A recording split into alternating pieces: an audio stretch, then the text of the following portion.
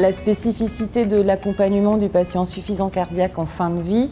euh, finalement, elle reprend toute une histoire d'une longue maladie, parfois 10, 20, 30 ans, avec des évolutions, des moments de stabilité et puis euh, euh, des périodes où, le patient a été à plusieurs moments dans la maladie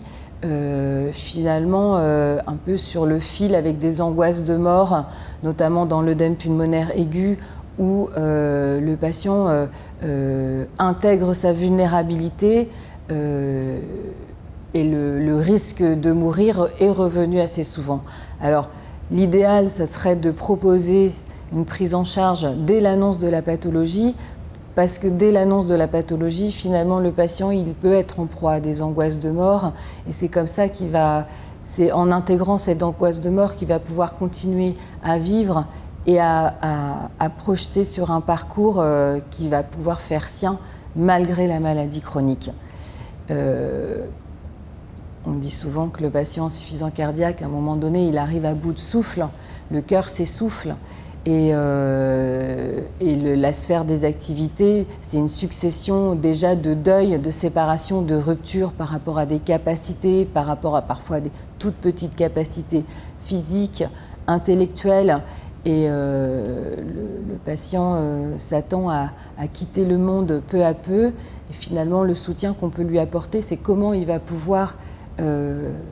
être d'accord avec un abandon progressif de sa vie, de ses capacités. Souvent, c'est en l'aidant à reprendre son parcours de patient, comment il a vécu avec cette maladie, qu'est-ce qu'il en a appris aussi comment il a pu euh, finalement euh, rester, rester sujet, rester dans son histoire et ne pas être qu'un patient avec des problèmes de santé. Parfois, euh, on a tendance à surinformer d'un point de vue médical et d'oublier que le patient reste un sujet. Et notamment en fin de vie, il est très important de lui redonner les clés, de lui redonner son parcours, de l'aider à reprendre en main son parcours puisque finalement ce n'est plus euh, l'important, c'est plus tant les informations médicales, euh, tant la projection dans l'avenir du, comment il va accepter et comment il va pouvoir euh, quitter ce monde dans lequel il a vécu, comment il va pouvoir dire au revoir à ses proches, qu'est-ce qu'il a besoin de faire et comment l'équipe soignante va pouvoir aussi l'accompagner sans forcément euh, le réassurer, euh, lui dire que tout va bien se passer, parce que finalement ça peut faire monter les angoisses, et l'apaiser, lui proposer euh, un univers confortable, c'est l'accompagner en fait vers la fin de vie,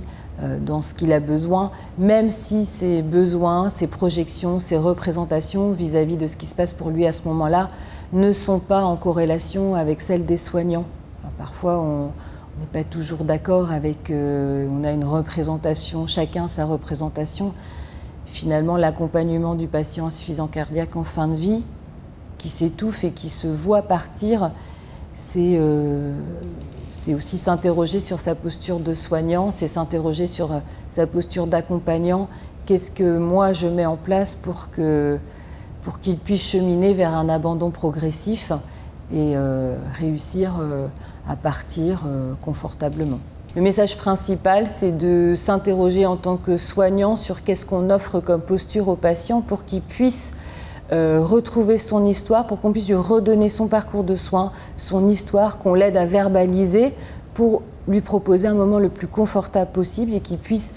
aller vers un cheminement, vers l'abandon progressif de sa vie. Hein, c'est une succession d'œil et de pertes pour ensuite euh,